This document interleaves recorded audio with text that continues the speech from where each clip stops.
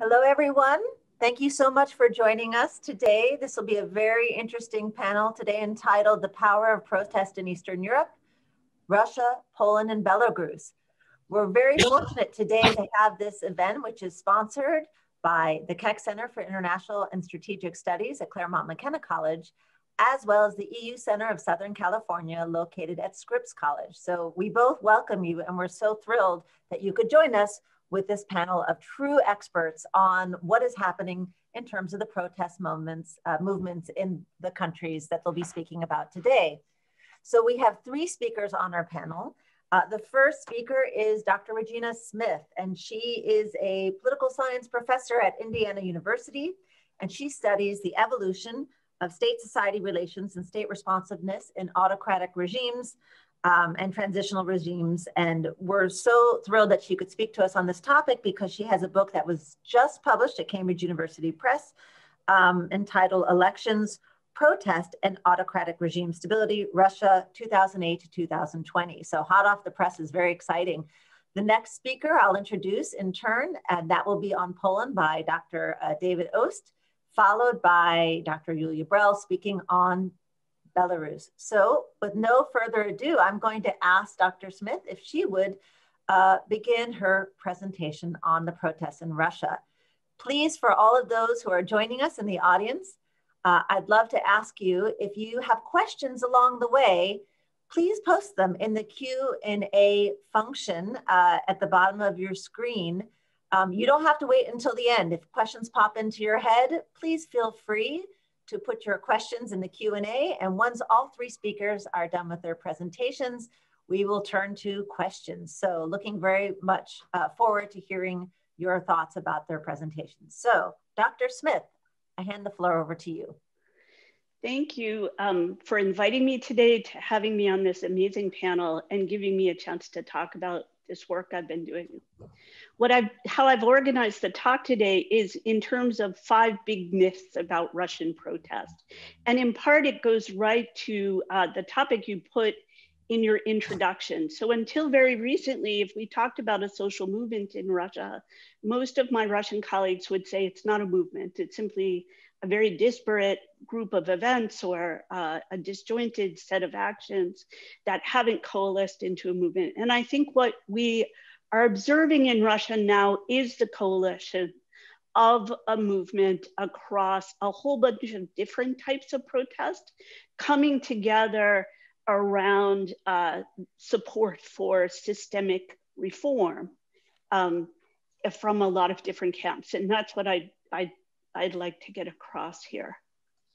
So I want to talk about the five myths of Russian protest. The first myth that I think is really common that we hear all the time that Russians are passive.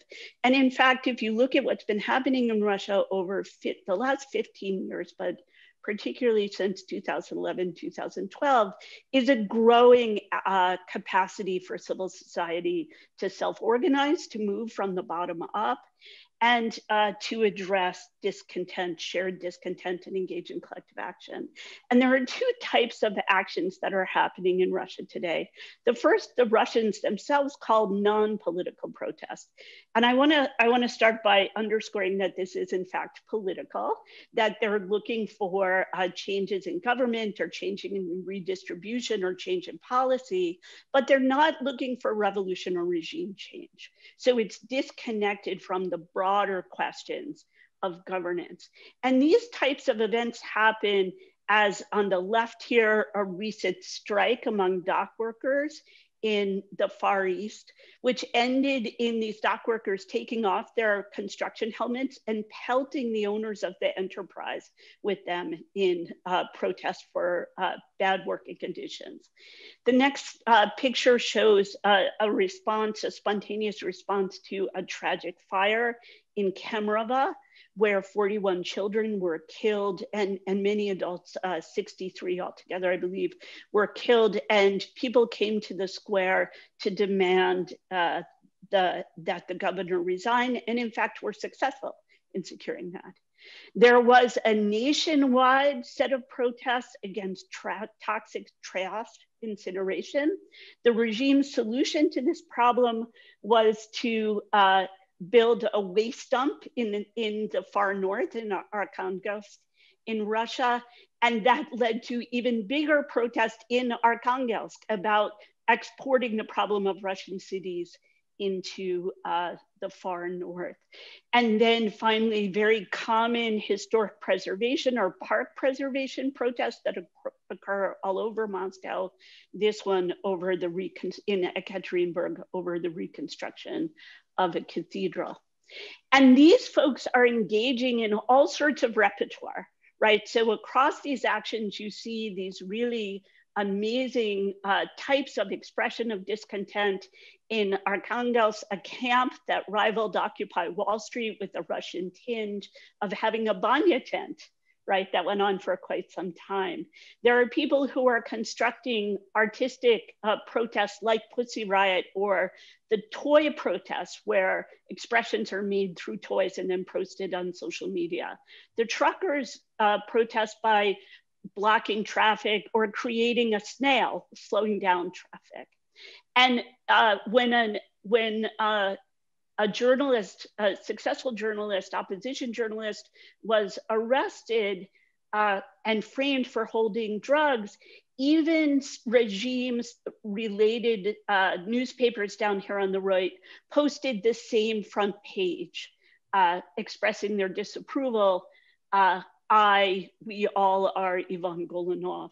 And so what you have is this different way of communicating discontent from the regime and, and normalizing discontent in all sorts of different ways. And in all of these cases, uh, protesters won, not all done in case of Pussy Riot, but many of these cases, protesters win concessions from the regime.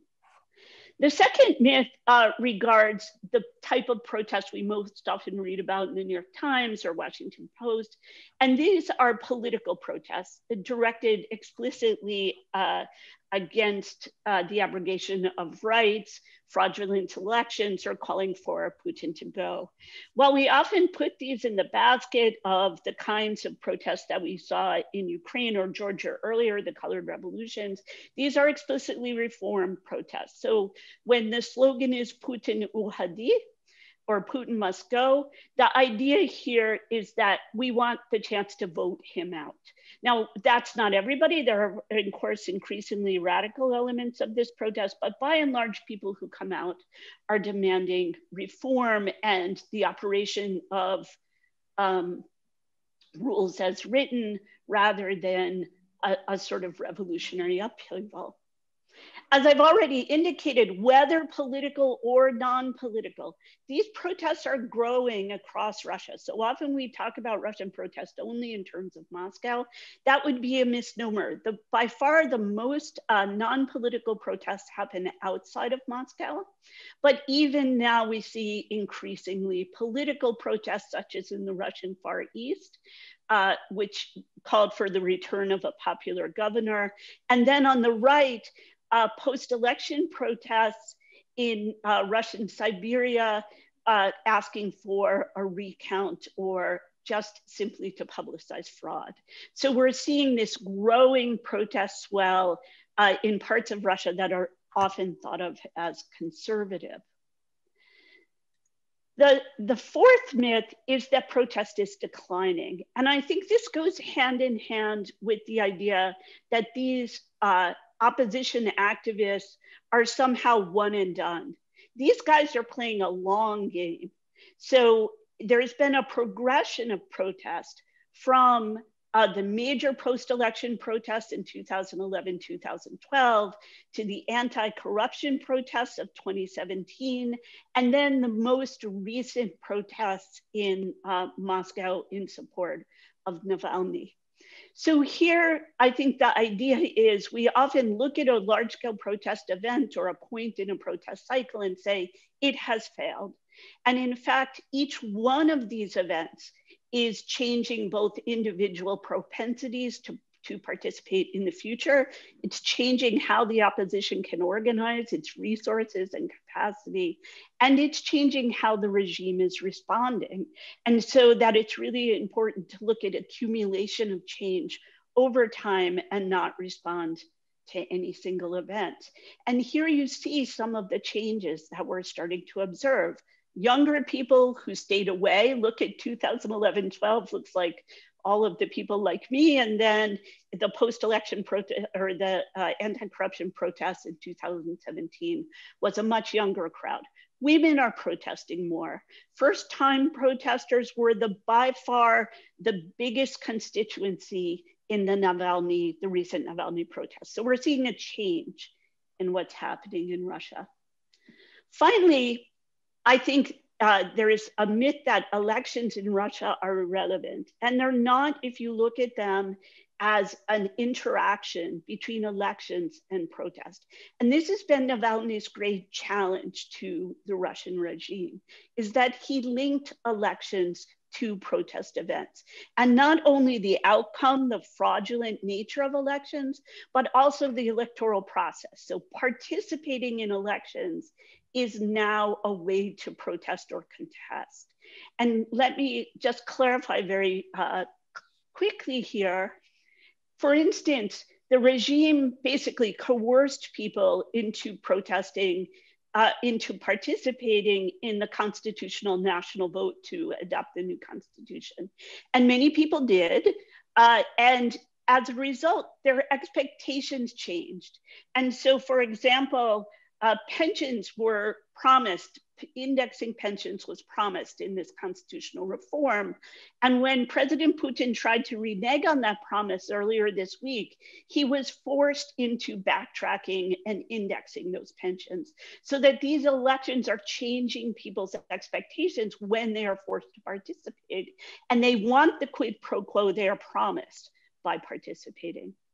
We see Navalny's smart vote effort where he is pointing out to people, candidates who can uh, engage in policy change or policy contestation and texting them names of people to vote for so they can voters can coordinate around these folks. And voters did coordinate around these folks and it changed the outcome of some elections. So recent work by russian scholars uh, mikhail turchenko and grigory golosov shows the effect of smart vote uh, in places across Russia. They don't always win, but they create a greater challenge and a barrier. Finally, in a case I've been working on lately, the case of Moscow housing, which involves a lot of contentious politics, it led to a lot of young people wanting to run for office and the formation of new election schools to show young people how to overcome the, the barriers of getting on the ballot and to link uh, contentious politics with formal politics through this election mechanism. And this also is a model that can be spread across Russia. So yes, we see now that this is working. Navalny, I don't know if you saw the news today, Navalny was sent to uh, a labor camp, an undisclosed labor camp today. Um, there, the rise in violence of the regime, uh, is an indicator of, of what is happening in Russia. And so the regime is having to adapt riskier and riskier strategies. And I'll end on this note. A new poll out by the Levada Center says that uh, the people who want Russia, uh, Putin to leave is now 48% of the population. And among young people, that percentage goes well over 50%. And so this is why we're seeing the regime increasingly take risks and the challenge of protest becoming greater and greater. So I think there are lots of parallels to other cases here and I'm just thrilled to be able to uh, talk about this a little more. All right, thank you so much, Professor Smyth. Um, our next speaker will be talking about protests in Poland. So Professor David Ost, he's a member right now of the Institute for Advanced Studies at Princeton University, and he normally teaches at Hobart and William Smith colleges in upstate New York. Um, he's written a lot on Eastern Europe, especially Poland, um, focusing on labor, class, democracy, um, and his books include Solidarity and the Politics of Anti-Politics, uh, workers after worker states, um, and the defeat of solidarity, anger, and politics in post-communist Europe, as well as uh, a special issue, many, many articles. And we're just so fortunate today to hear him give us some insight into the protests in Poland. So, Professor Ost, please. Thank you. Thank you so much, Hillary, for the invitation and uh, thanks to my co-panelists and greetings to everyone. So um, I, I, suspect many of you have heard that uh, Poland has taken a right-wing turn. They've gone very politically to the right since a new government, not new anymore, uh, uh, took power in 2015. But a little less known than the uh, political turn has been the cultural turn, the cultural changes. Basically, the program of the political right seems to be to kind of engineer a vast cultural counter-revolution right? One could say if we were, if it was just in the West, we would say against the 60s. There, they would say against the, the, the cultural changes of 1989 and of the communist period as well. Basically, it's a turn very much against progressive ideas, against liberal and progressive culture, an attempt even, sometimes they talk about to re-sanctify Europe. Now, you know, some of this might, might sound vast, ambitious, megalomaniac in some sense. Uh, but it's important to understand that not everyone, but many people in the ruling party are very consistent about this and really see it as a long-term long-term campaign. Just as Regina said about a long-term campaign of the uh, opposition, one could see on the part of the political right this long-term campaign to change things culturally. Much of it has its roots in um, 1978. What happened in 1978? Well, the first time in 450 years that the Catholic Church chose a non-Italian pope, right? This was Pope John Paul II. And uh, John Paul II sometimes talked like that, right? About this grand change in Europe and these big cultural transformations that are necessary you know, and and again that that uh, we've been caught behind, but now we have to catch up very quickly. And an attack on women's rights, on reproductive rights, has played has has been a central part of this. Right? It seems to be the sense like cut the idea of personal individual rights for women, right? And we control our bodies and we control our uh, uh, reproductive timelines right? If uh, when women can be removed of these kinds of uh, wills and desires, we can restore this kind of traditional culture and uh, uh, all this progressivism. It's one aspect of, you know, tearing down the progressive culture. Uh, and, and replacing it with this idea of traditionalism, conformity, uh, underpinned by a very strong Catholic Church. Now, Poland has, of course, been often uh, has been very Catholic for a long time. Of course, there were many non-Catholics in Poland in the interwar period as well.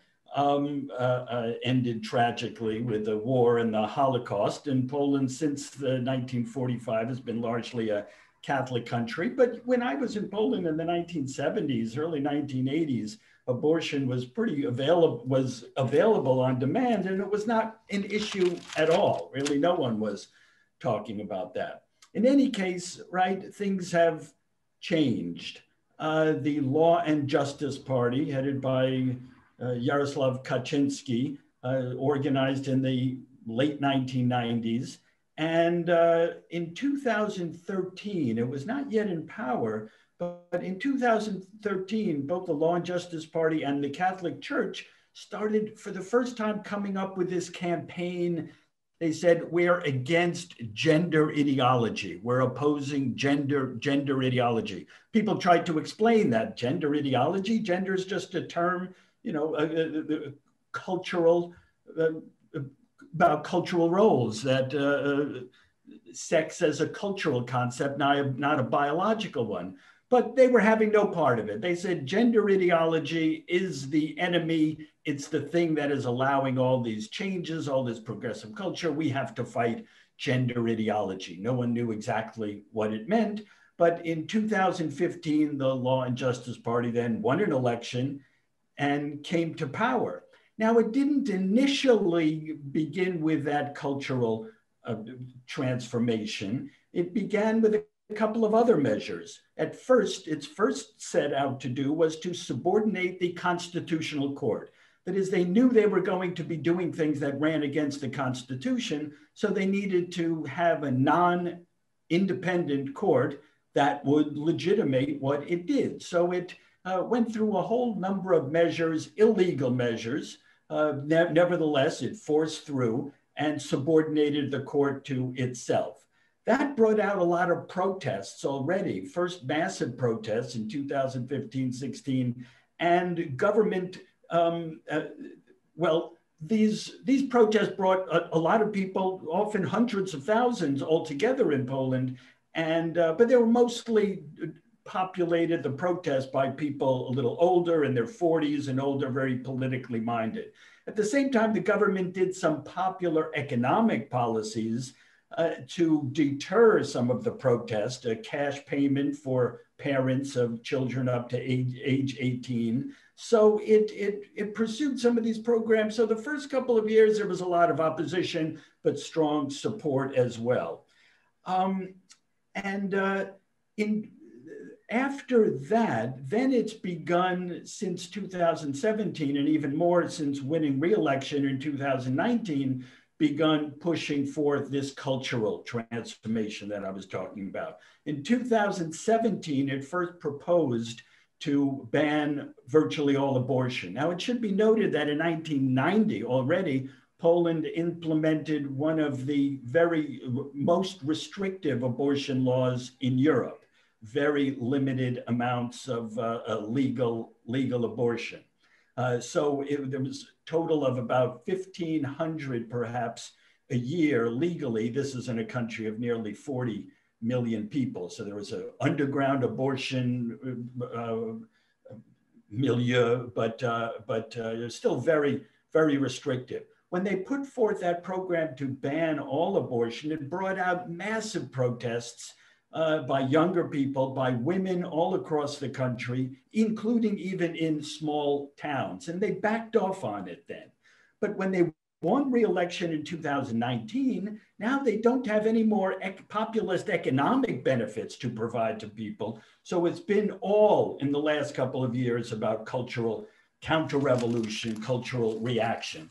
So in October 2019, they arranged so that the Constitutional Court, now under their control, would uh, take up the abortion law that was already very restrictive and in October 2019, it, uh, it announced that all abortion, with the exception of uh, uh, about 5% of the previous legal abortions, would be illegal. This is what brought out massive protests right away.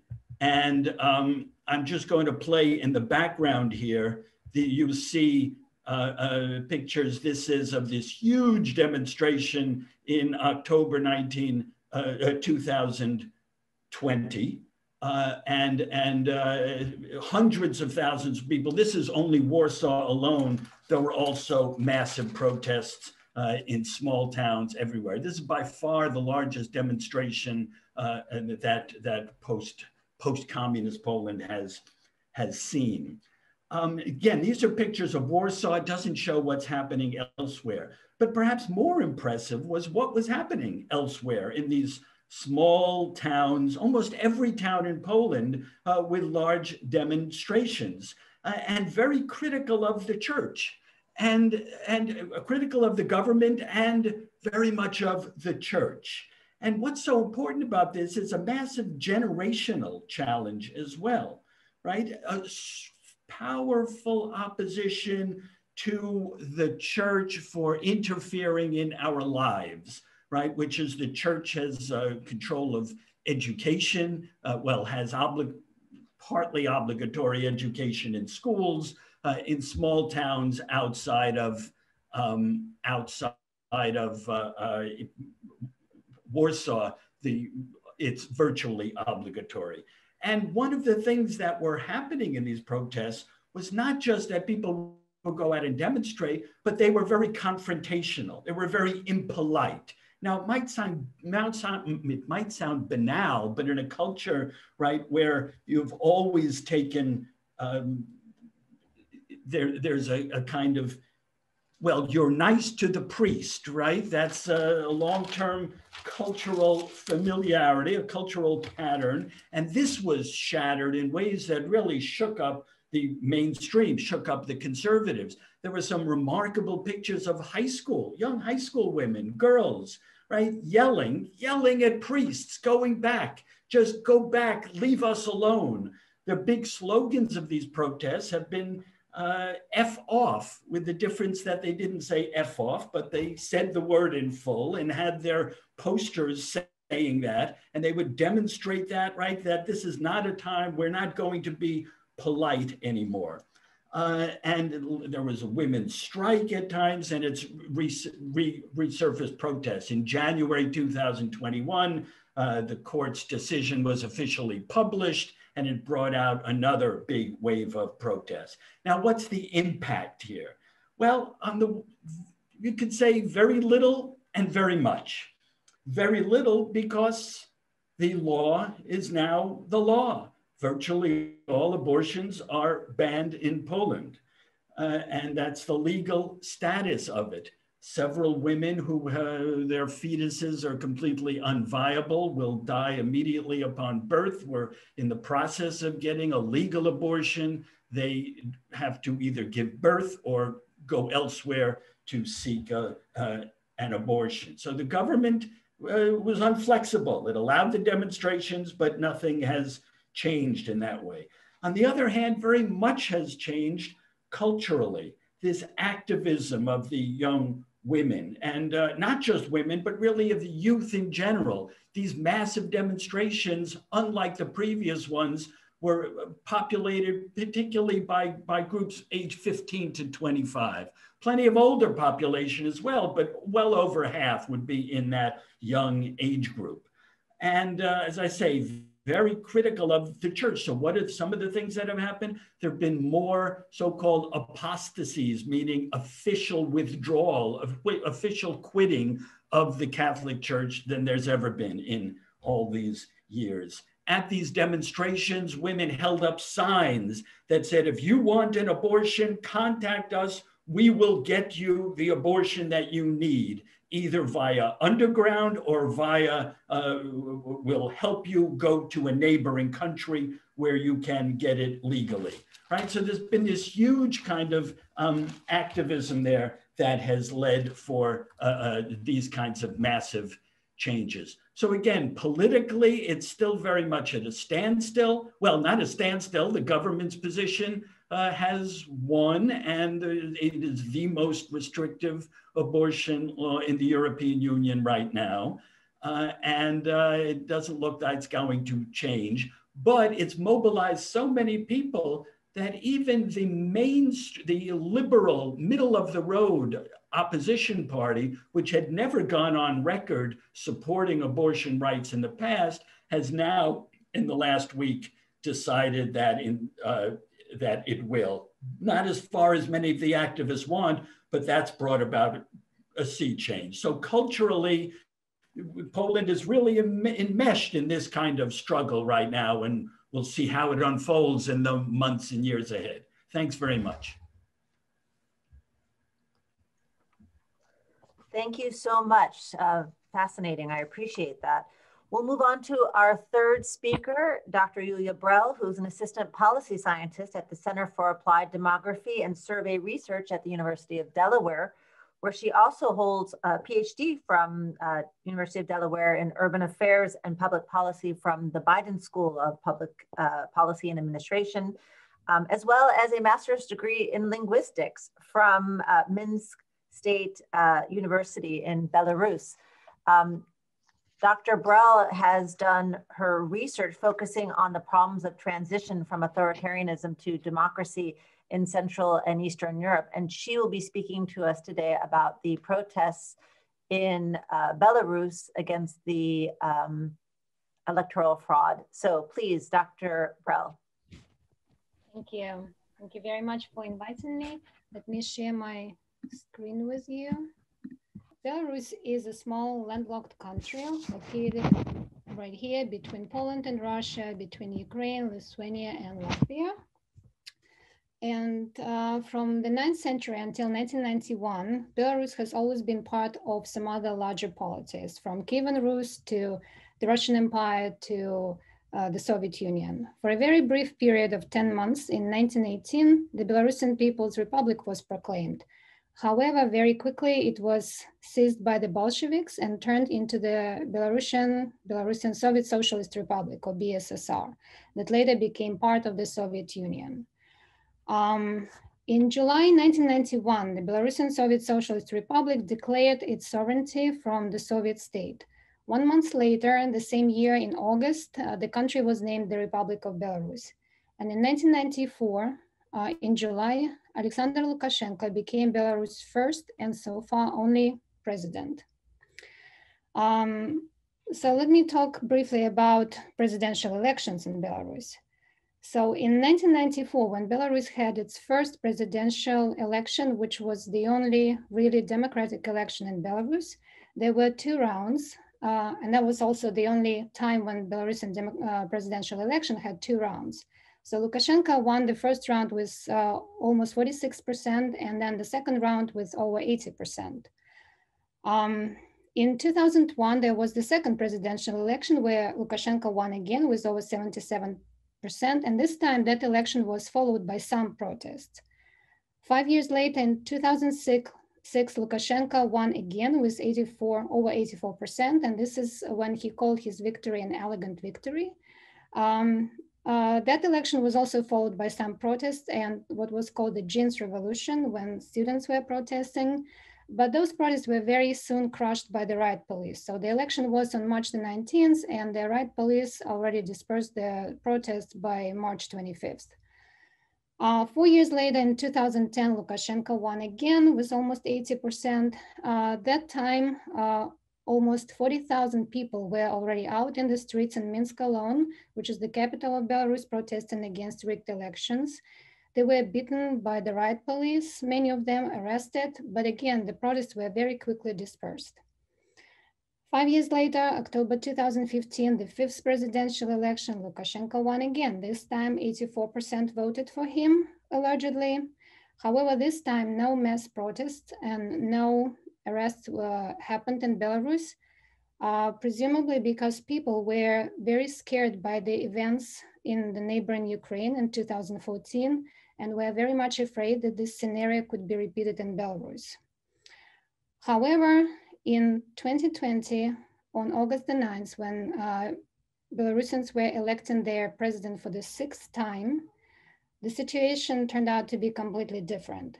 So the same day when the Belarusian state um, TV channels projected Lukashenko's landslide victory again, and then later announced that he won with 80% and his main rival, Svetlana Tikhanovskaya, allegedly just got over 10%. So the Belarusian society this time just erupted. Uh, the situation after the election of 2020 differed significantly from everything Belarus um, had seen before. First of all, it differed in the unprecedented scale and duration of the protests that followed the election. It's already February and the protests are still going on. They're not, of course, so populous as they were in August or September, but people are still protesting. So it's been almost six months. Um, uh, that election also, uh, the crisis also differed from whatever we experienced before in unprecedented cruelty and downright sadism of the riot police. Uh, also, the difference was that this time it wasn't just the traditional opposition or students protesting against the rigged elections. It was uh, people from all walks of life. And it was clear that the majority of Belarusians this time were against Lukashenko. And of course, Lukashenko was not going to give in without what someone called a bloody fight. And to confirm this, I'm going to quote Lukashenko saying uh, this uh, several days after the election we held an election. There won't be any other election until you kill me. And he meant what he was saying at that point. So what are the reasons for the current conflict or the conflict that occurred between the regime and society in August and after that? Until 2015, Lukashenko's political longevity was partially accounted for by the social contract he and Belarusian society had tacitly concluded, and the contract was loyalty in exchange for well-being. Until 2015, Lukashenko uh, was able to honor his part of the contract and people's well-being was steadily improving and uh, increasing. However, by 2015 already, Belarus was experiencing yet another economic crisis and Lukashenko couldn't promise uh, anymore um, that he would uh, contribute to the improvement in the well-being of people. But uh, the crisis in Ukraine came as a blessing in disguise for Lukashenko. People were very much afraid of what was going on there. And they agreed to exchange their loyalty this time for peace because Lukashenko promised that there will be peace in Belarus and that economy was not that important anymore. However, by the summer of 2020, Lukashenko had nothing else to offer society. And it was clear that the electorate was restive and perhaps change was in the air. So there were several reasons that led to the current uh, conflict. First was the deepening economic crisis uh, as a result of the so-called tax maneuver when Russia began to cut export duties on its crude oil and simultaneously increase the mineral extraction tax and the prices of Russian oil for Belarus began to grow. So ultimately, uh, Belarus will have to pay uh, world prices for uh, crude oil and will not be able to buy cheap oil from Russia, then refine it at its refineries and then sell it at market prices in Europe anymore. Another reason for uh, this crisis was uh, um, the so-called Medvedev's ultimatum. So Belarus and Russia concluded a treaty in 1999 and created a union state of Russia and Belarus. And until approximately 2015, that union state existed mostly on paper. But since uh, 2015, Russia has been insisting that Belarus agreed to a much deeper political, military, and economic integration uh, for example, it was demanding the establishment of supranational bodies and the introduction of a single currency in the union state.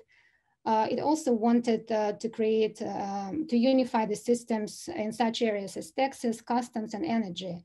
But if Belarus agreed to these concessions or agreed to make these concessions, then it would most probably lose its sovereignty and even independence. And this was not something that Lukashenko would ever agree to because it also was a threat to his personal power. Another reason for the conflict, for the current conflict, was the complete passivity and indifference of Lukashenko during the COVID-19 pandemic. Belarus is the only country that never introduced any lockdown, any quarantine. And as far as I know, if I'm not mistaken, masks uh, began to be required in public places only in November of 2020. Before that, there was not even that requirement. Another reason was the crackdown on alternative candidates before the election, uh, uh, such as Sergei Tikhanovsky, Viktor Babaryka, and Valery Tsepkalo. Uh, then it was followed by harassment and mass, mass arrests of independent observers at the polling stations. And as I have already mentioned, the unprecedented cruelty of repressions during the first few days after the elections.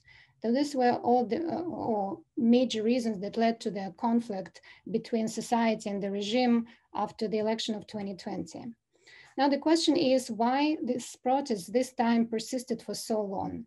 There are also several reasons for that. For that. Well, the electoral fraud uh, played uh, the role of a catalyst for the onset of mass, mass protests. Um, many people in Belarus believe that all elections, but the first one, have always been rigged in Belarus. But before society in general somehow accepted the outcomes uh, with very little or none resentment whatsoever. But this time the lie was so egregious that people just could not stand it anymore. Then the sadistic police beating and torture of not only peaceful protesters, but also bystanders. So many people who were not even participated in the protest ended up in jail and were tortured and some people were killed. Um, Another reason that helps uh, protests to persist uh, was the informal social networks and social media, which were used as means for sustaining protest activity. Uh, also, this protest committed to nonviolent action, which also helped. And another important thing was that this time uh, the protest mobilized people um, not only in the capital, but also in smaller towns and cities and even villages in Belarus, and then they managed to mobilize, again, not just the traditional opposition, but also intellectuals, white collar workers, professionals. And what is what was probably the most surprising part was the, that they mobilized the working class. So people who worked at state-owned enterprises and who traditionally would support Lukashenko uh, at presidential elections. So uh, these they had several important um, impacts. One of them was that in November 2020, the US Congress reauthorized uh, Belarus Democracy Act of 2004. This was a um, United States federal law signed by President George W. Bush in 2004, and it authorized uh, assistance for Belarusian NGOs, independent mass media, and political parties that were advancing democracy in Belarus. So in November 2020, this act of 2004 was reauthorized, and now it's called Belarus Democracy, Human Rights and Sovereignty Act of 2020. And also in February of this year already, a resolution was submitted to the Committee of Foreign Affairs uh, that supported uh, the fight of the Belarusian people uh, and their democratic aspirations and condemned the election rigging and violent crackdown on peaceful protesters. And also in this resolution, uh, Lukashenko's regime was referred to as illegitimate. Um, the European Union and the United States did not recognize the outcome of the Belarusian election. Uh, the EU countries, uh, the United Kingdom, Canada, and the USA did not recognize Lukashenko as a legitimate president. They introduced sanctions, visa bans, and froze uh, assets of Lukashenko and many top Belarusian officials. But more important than sanctions or visa bans on freezing assets was um, the rise of civil society in Belarus. Uh, it does not mean that civil society did not exist in Belarus before, uh, before the summer and fall of 2020. Formal opposition first appeared in Belarus in the 1980s. But what Belarus witnessed right before and after the presidential election of 2020 was the gradual emergence of a new type of civil society that was connected uh, by means of social media. And this new civil society was gradually turning into an arena in which notions such as democracy, freedom, elections stopped being empty shells as they used to be before for many people. Uh, and it, it, seems like citizens of Belarus are finally learning how to internalize the substance of these uh, concepts. However, some commentators warn that the demands for such abstract notions as freedom and dignity, they are not enough and they should be accompanied by more concrete political and economic demands to sustain the protests and strikes and to achieve the ultimate goal of removing Lukashenko from power. Belarusian civil society has other weaknesses too, such as like the lack of skills to convert pol their political demands into action. Uh, Belarusian uh, representatives of the opposition have been absent from regional and state political bodies for a quarter of a century, there is no proper leadership and activists, they lack formal power and uh, organizational knowledge. And this is just a few of the weaknesses of Belarusian civil society. Now, the major question is, will Lukashenko fall? Uh, there are some factors that say that uh, he might stay in power for a while still. Uh, first of all, uh, regimes like Lukashenko's, personalized authoritarian regimes, they do not give up without a fight. Uh, also, Belarusian law enforcement agencies are very loyal to Lukashenko and they are his disciplined elite. The political elite is not, uh, uh, uh, it still remains unified in Belarus as well.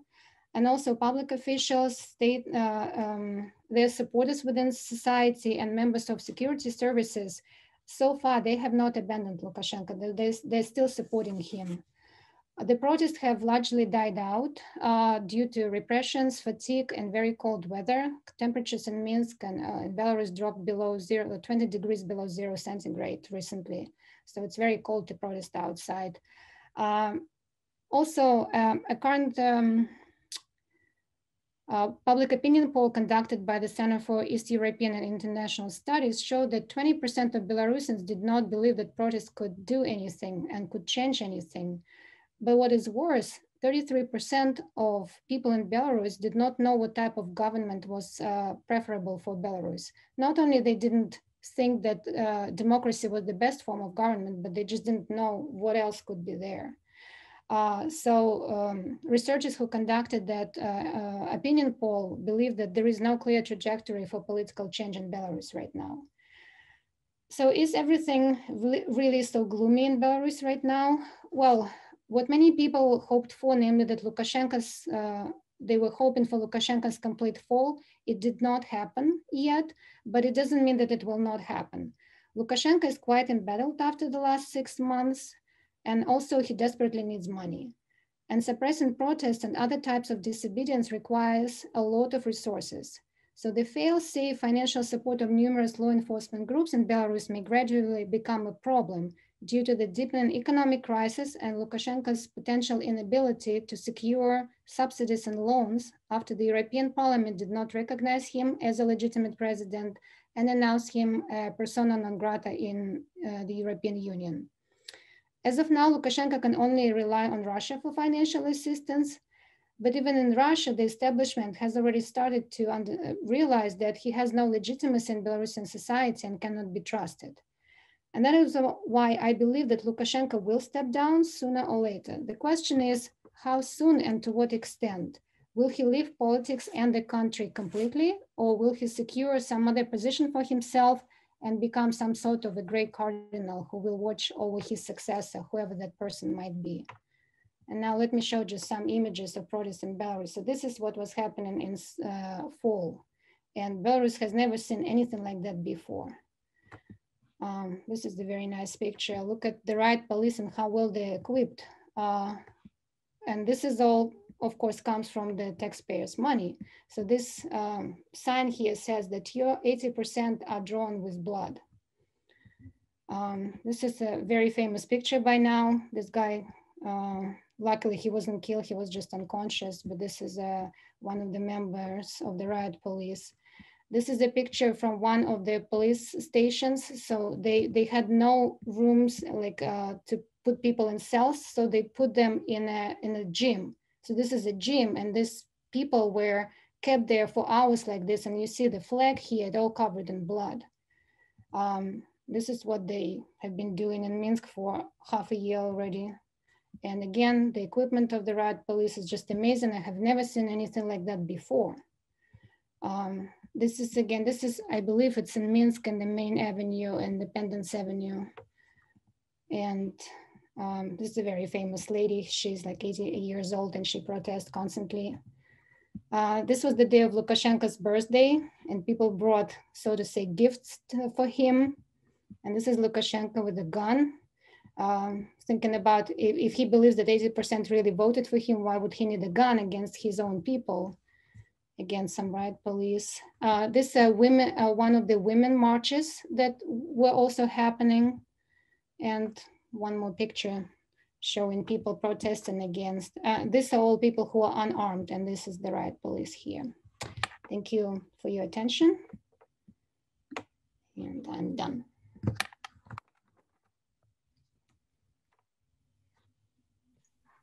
All right, thank you so much uh, for three very interesting presentations. So we'll all come back, uh, all the panelists, and we'll turn to some of the questions that have been coming in. In the meanwhile, anybody who's been listening, I see, um, you know, you are very welcome to just add your questions in the Q&A or the chat for that matter. We'll find them either way, but this way we can, we can go through the questions because we have some time to do that. So I'm just going to, at the moment, um, gosh, let's take uh, Jesse Driscoll's question about Poland.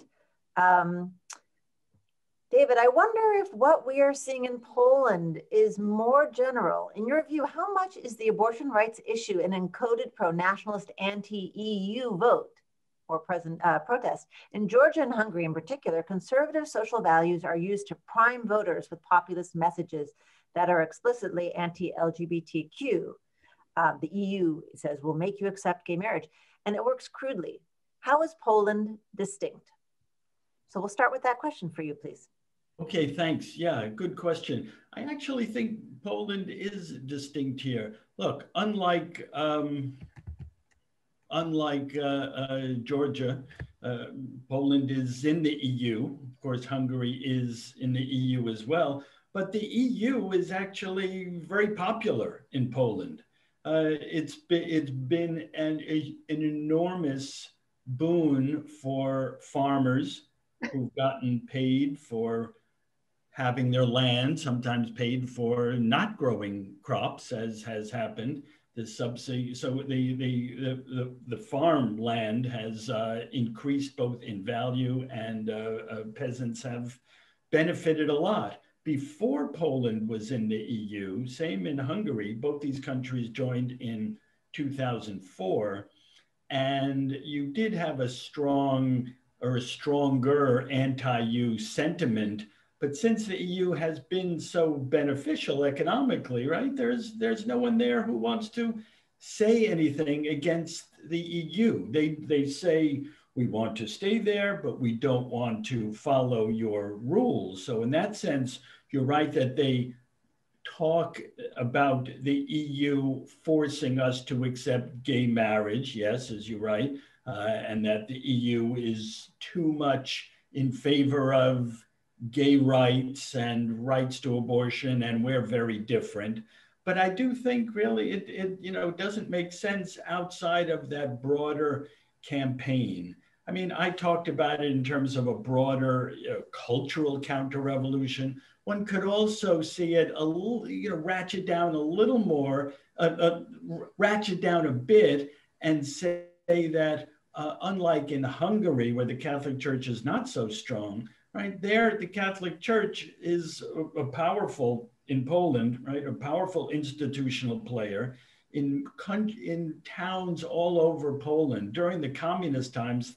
The state had built up factories and built up local museums and sports clubs and all these kind of local activities there. But after 1989, all that fell apart, and the church is the institution that survives there. So the government has made a big deal, right? Uh, uh, compact with the church to give it more control of education, uh, to, to have it play a greater role in culture as a whole.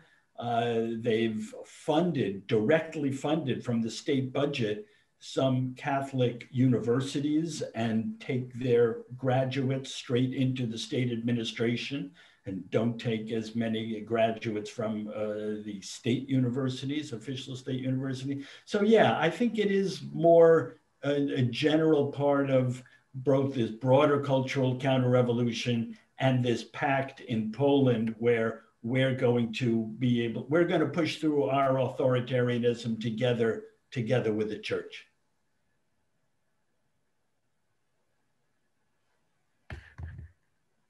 Thank you.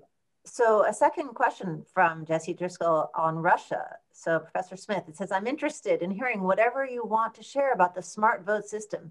There's a loyal security force and a fairly cohesive set of pro-Putin elites do you think Navalny's smart vote push is likely to be viable in September 2021? Duma election is putting a blocking coalition in the Duma. Um, thank you. So the first thing I want to say about Smart Vote is that it has a mixed reception in Russia and among the old school opposition. So essentially, what Smart Vote is is strategic voting. You vote for a person maybe who you don't entirely agree with, but who you think you agree enough with who can win, right? And for many of the old opposition, the democratic opposition in Russia, this is anathema like this is a sort of anathema idea that you're not just, that you would support a communist candidate or a Spravedlivaya Russia candidate uh, just because he's not United Russia. So it's controversial. Um, in order to keep United Russia in power, uh, as national support for the party waned, Russia instituted a mixed electoral system again. This is the Yeltsin system. So they brought the Yeltsin system back, and the idea is that you have half single member districts, plurality districts, and the party. And United Russia can only really get about 30% of the votes in the party list race now. So the regime is bringing back old Yeltsin tactics, like creating parties that are stalking horses uh, that look like new and different kinds of parties with very democratic names, but really are run out of the Kremlin and will provide a lo loyal opposition. There, um, they're also uh, doing things like letting United Russia candidates run without party affiliation. And then they appear to be independent candidates and people may support them because they have good ties to Moscow or may not realize, although in many cases, voters are very clear on who was or has been a United Russia candidate and who isn't. Sometimes it's not at all subtle, right? People just resign from the party and run as independents when they were in the party months ago. So in this context, smart voting is who are the real independents who can manage to sneak onto the ballot here? Or who are the who are the party leaders? For example a communist party leader in moscow who might work for housing reform or pension reform. And so what it does is force the regime to be more and more clever and press the regime. Excuse me.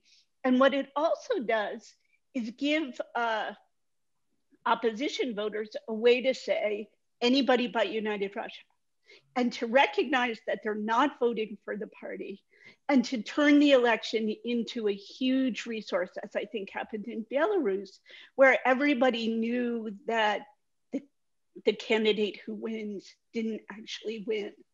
And that transforms the election from a contest over seats to a contest over hearts and minds. And I think that's a really big advantage to smart vote.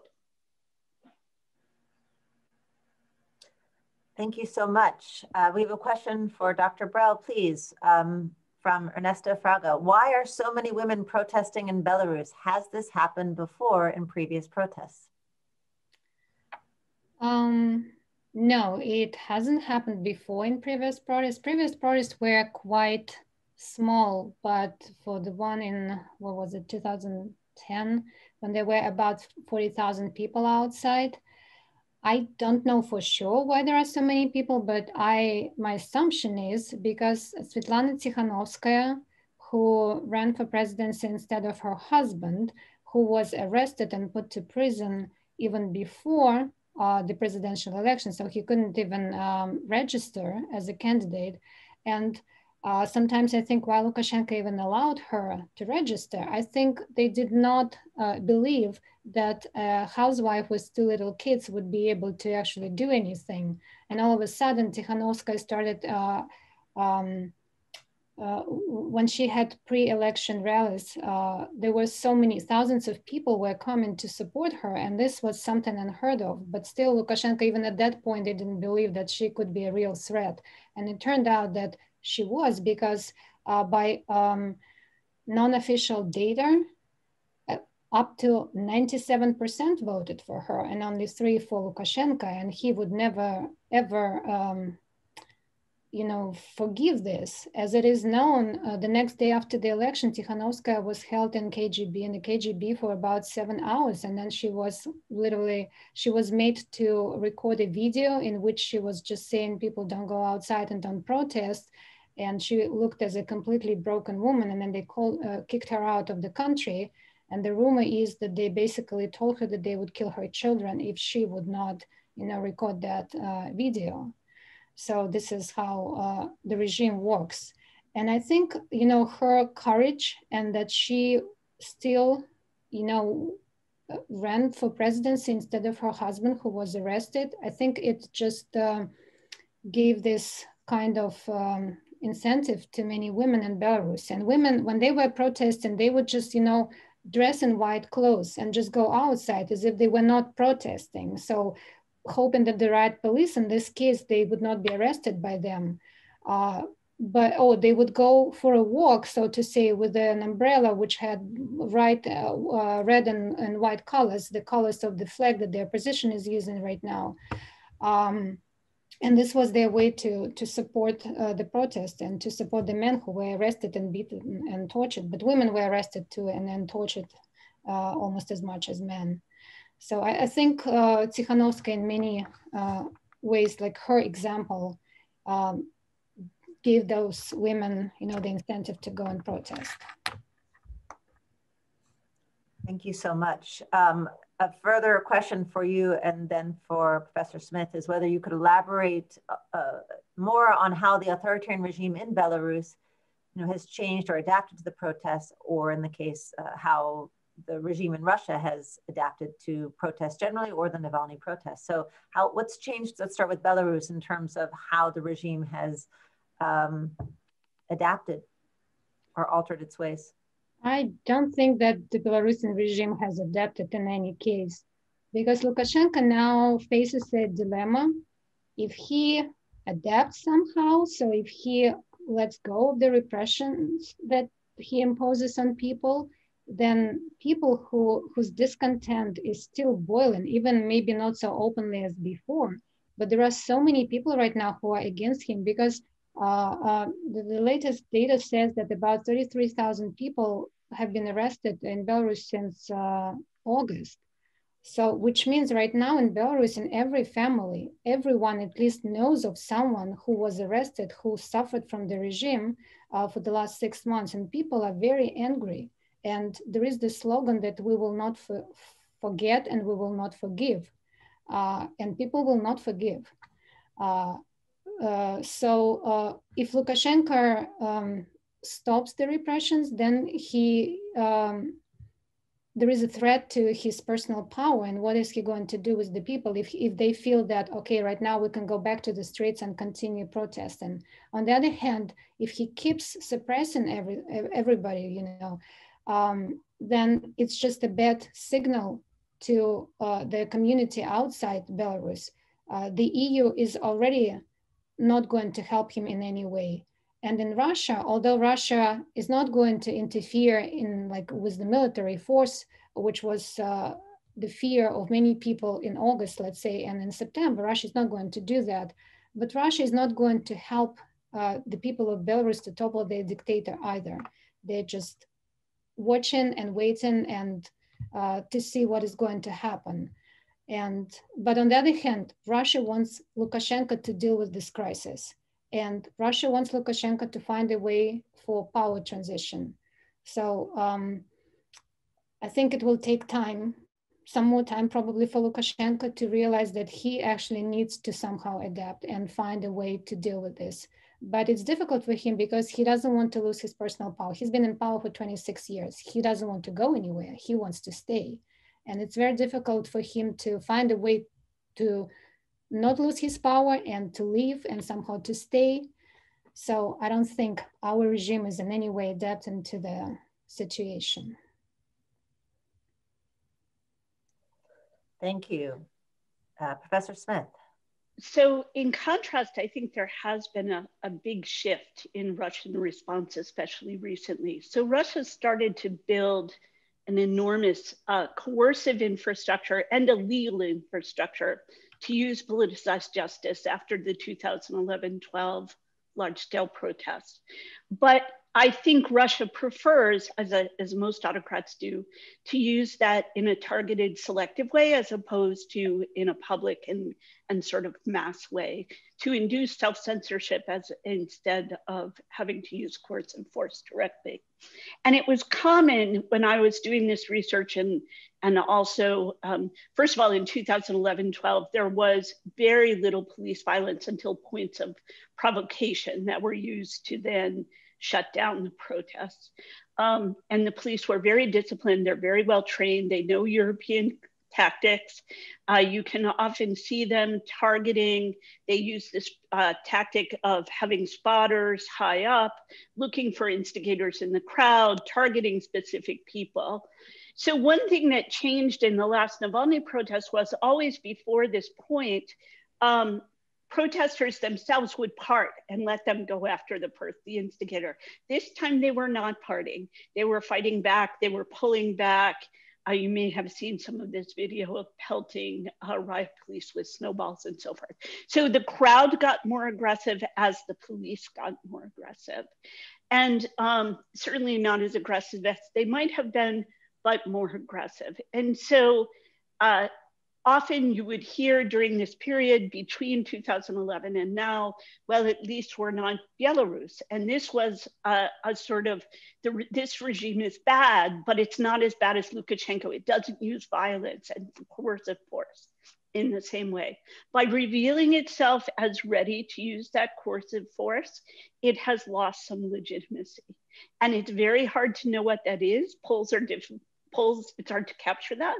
But um, that's why it's been quite risky and the regime risks backfire by becoming more coercive. And let me just end on this point that people may not know. It has now, uh, it, Russia has now extended its foreign agent restrictions to scholars. So now uh, the regime is inducing self-censorship among scholars. And you can be, uh, you now, if you take money from foreign entities, have to report as a scholar, a foreign agent. That means that you need to um, go through rigorous reporting mechanisms. It's very time consuming. It's difficult to comply with.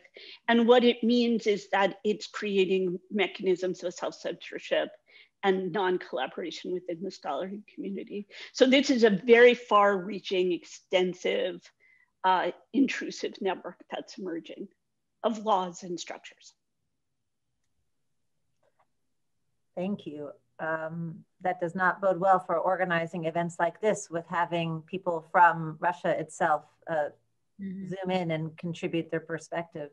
Um, you know, this is a, a, panel that has been so interesting, so fascinating. And one of the co-sponsors is the European Union Center of Southern California. So that motivates a question I have for Professor Ost, which is thinking about what is the role of the EU in responding to these protests and to the reproductive rights of women in Poland. Is there a role? Is there um, any efficacy that we could expect from the EU, uh, given how limited their abilities have been to respond to violations of European norms and the rule of law and restrictions on the judiciary. Can we expect the EU at some point to uh, be involved or weigh in on these kinds of reproductive rights of any sort in Poland? Well, as we know, the EU, the EU's position, and it's shown shown this in Hungary and in Poland as well, is that as long as you're following your laws, then we have nothing to say about it. So on this issue, there's nothing in the uh, EU communautaire that requires a certain position to be taken on reproductive rights. Poland has even uh, they have criticized and may well formally withdraw from the Istanbul Convention against Domestic Violence. That may not be its proper name, but but there's a, a big convention there in Poland.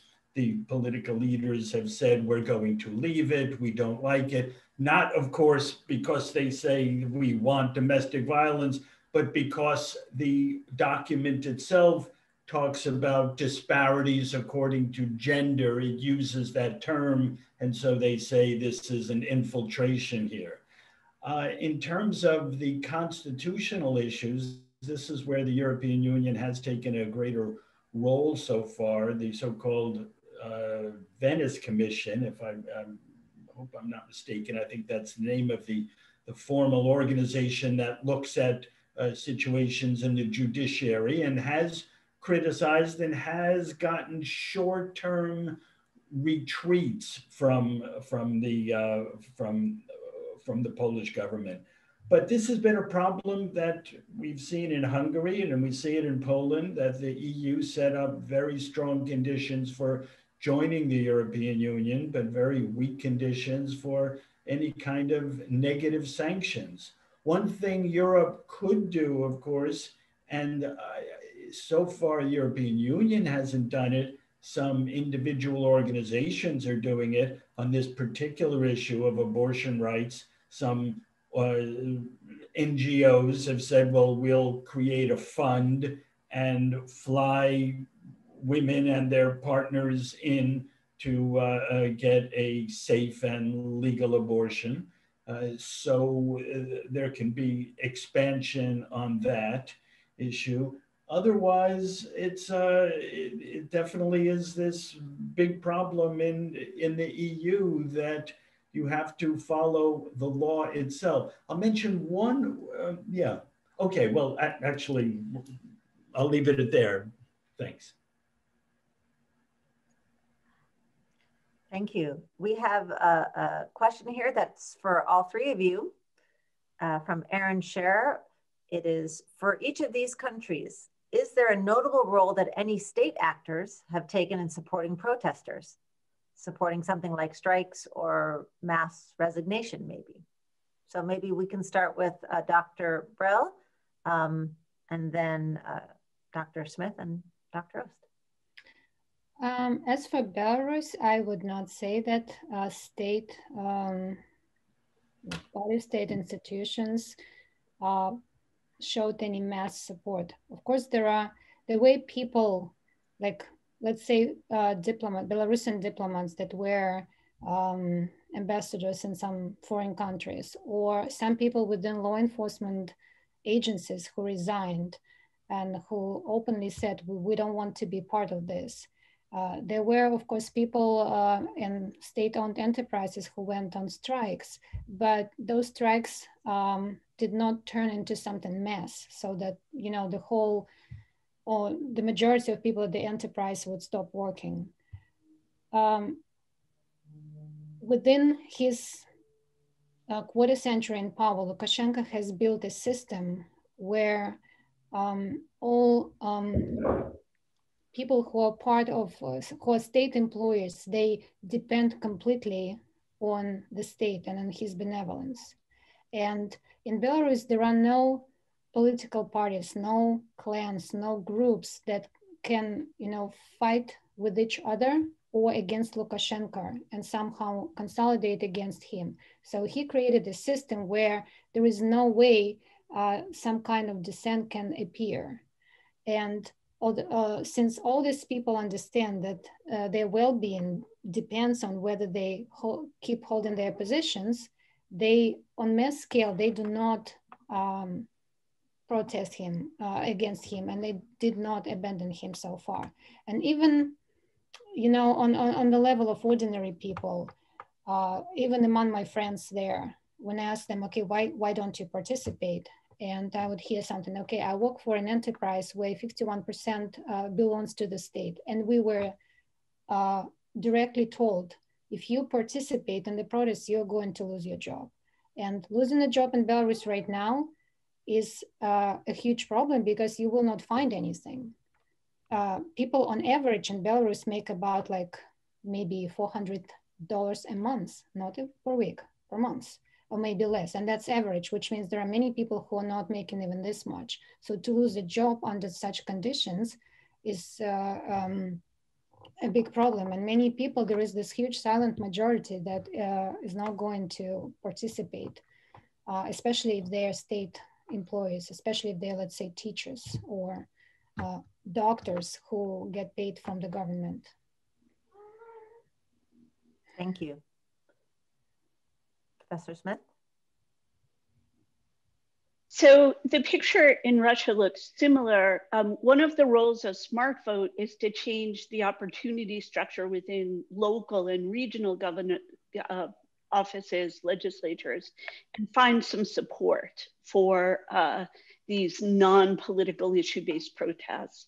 And that has happened in some places. So we have, for example, around Moscow housing and contestation of the massive reconstruction program, the parties uh, like LDPR and KPRF jumped in on the side of tenants to demand their rights or homeowners to demand their rights.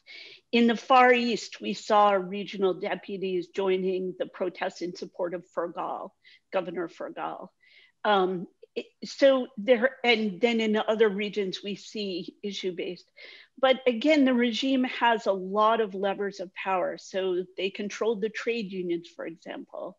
So while there was some trade union support for strikes uh, against pension reform, uh, a chapter by Irina Olimpieva in a book that I've been working on with colleagues about urban activism shows that the regime really clamped down on trade unions' capacity to support that kind of protest. And cross-class coalition is the holy grail here, right? To get to get uh, sort of labor together with the middle class uh, protesting is what would bring about some significant change. Um, in that in the trash protest I talked about uh, in my presentation, you see the use of uh, not only threats of losing your job, but actually more than just a person here or there losing their jobs for having taken part in the encampment in the north or in protests around the city. So the opportunity structure is still very closed, but it is opening. And one thing we haven't talked about, which I'll just mention very briefly, is that there is behind the scenes economic support from uh, economic actors for these organizations. And of course, probably the state knows where it's coming from. It comes all through electronic transfer and crowdsourced fundraising, but there is quite a bit of autonomous economic actor support, which may be why the regime has been so happy to let uh, entrepreneurs wither and die in the face of COVID um, and to shrink the private sector at the expense of the state sector. Thank you. So, so if I can uh, make a few comments in response. Yeah, well, look, uh, as for this immediate cause of the demonstrations, the government does have, and it tells the excuse that, well, we didn't do it, it was an independent Supreme Court. Now, most people understand that the court is not independent, but nevertheless, uh, that's been a way to um, minimize some of the protests. So what you've had is not any any kind of severe protest against that. Some in the right wing coalition have said, well, we need to change the law a bit, maybe do a little something. But uh, but it's been pretty much behind this this issue. The only place where there has been some kind of uh, uh, criticism and uh, uh, movement from um, from within the governing coalition is that just recently a proposal now in Poland to do just what the government did in Hungary with the press. That is to have state owned companies or close associates of the party, private individuals, buy up the press, buy up the opposition press, first weaken it by not place ads in there by any state institutions, then buy it up on the market, and then disband it or change its uh, change its uh, political line. They've been doing that recently. They proposed a new tax about that. And here's where some in the right wing coalition, because you have a couple of parties there, and they can easily see, well, if we are on the outside, uh, for any moment, then uh, then then we're going to get caught in that too. So that's been the only opposition. Otherwise, you know, less so than in Russia or in Belarus, but still the state is a key distributor of goods, right? There's not a lot of uh, great access and huge opportunities by leaving that to, uh, to, to, to another sphere, much less so than even you know, some state officials, of course, with uh, uh, Trump, did leave and could find some kind of support in the opposition to Trump, uh, and and and save themselves, save their positions, right, and still be in a good political place. Uh, but uh, yeah, that that those options have not been have not been available. So there hasn't been much defection. All right, thank you so much. This has been such an intellectual treat for me, for certain. I've learned so much from the three of you. It's been very stimulating. I also uh, want to take this opportunity not only to thank our wonderful panelists for their insights and their thoughts uh, of these protests, but I'd like to thank my co-organizers at Scripps College, uh, Agnieszka Bazurczyk and Corey Titsara, and thank you for supporting this event along with the Keck Center for International and Strategic Studies at Claremont McKenna College. So we're going to close here. My name is Hilary Appel. I just want to thank you so much on behalf of the Keck Center for uh, being part of this panel in Claremont, California. And uh, I appreciate it and I wish you all well.